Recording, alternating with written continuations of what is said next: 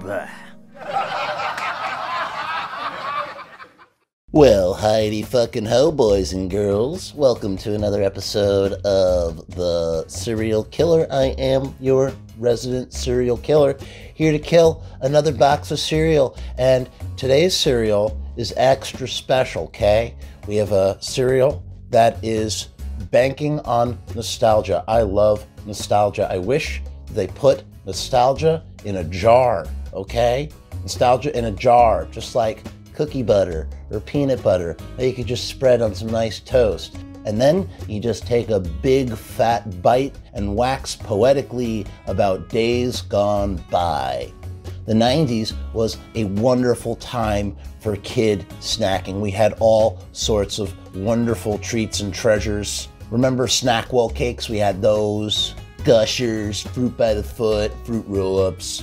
But there was one tricky little treat that all the little kids on the block loved to eat. It was an activity. It wasn't just food, it was an activity. You had to peel the lid back, you had to take the cookie, you had to dunk it into the icing, and you had to take a big bite. If you don't know what I'm talking about, let me make it a little bit more simple for you.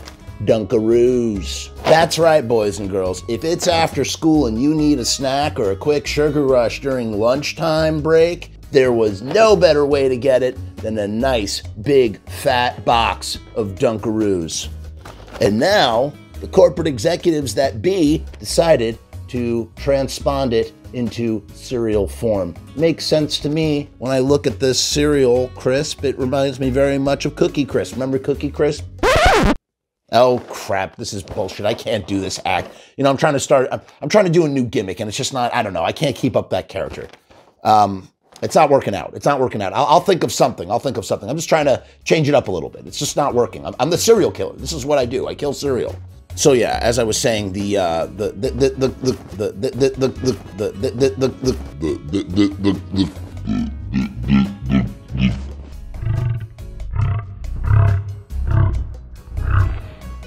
design of the cereal is very reminiscent of Cookie Crisp. And if you remember, uh, Cookie Crisp was a cereal where you had the, uh, I think he was a dog and he was a criminal and he would run away and always try to get the Cookie Crisp and you always get arrested because crime doesn't pay. In this case, they're not using the cartoon kangaroo mascot. Maybe because it's culturally insensitive to Australians in this day and age. I don't know. Uh, but he is he is gone. On the back of the box, which is really cool, they have a that was then and this is now. Because, as we've said in the last episode, when you didn't have your cell phone and you needed something to read, you just turned the box over and read what was ever on the back. And it shows you how technology has changed. What's funny about all of these things is that every single one of them fits on a phone. So the phone that I'm shooting this with would have supplanted every single one of these. Supplanted a word? So the very device that I am shooting this video with would eventually take over for every single one of these things right here. All right, let's dive in, shall we? Gonna save that box for sure. Let's just take a quick look at this. Yeah, that's crazy.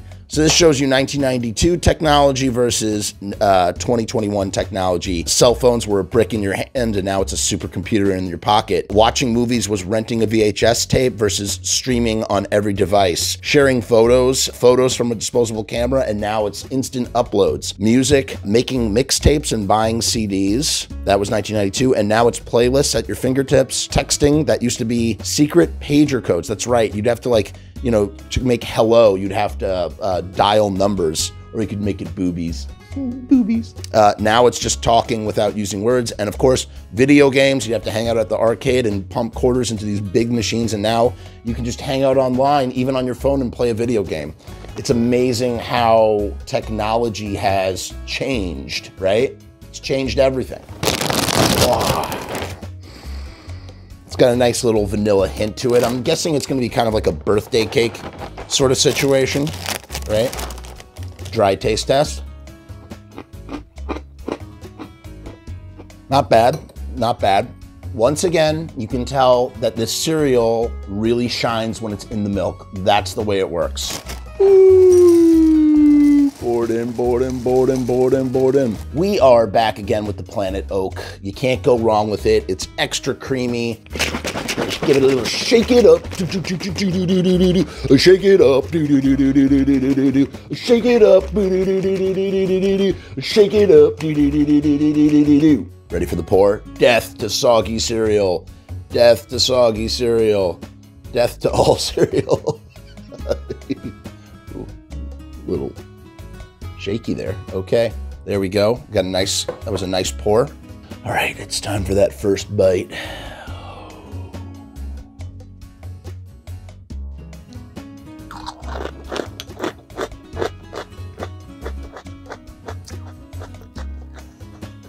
Mostly, um, so it's got a nice vanilla flavor that sort of finishes like a birthday cake. I bet this milk would taste really great after you're done with the cereal, especially because it's oat milk and it's not super gross real milk.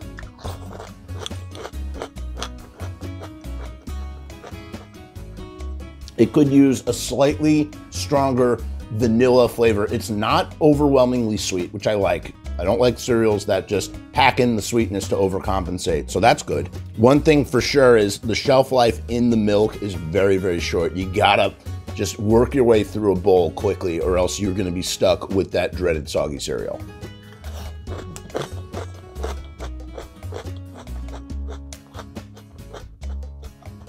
Overall, I'm gonna give this bad boy 7.5 out of 10.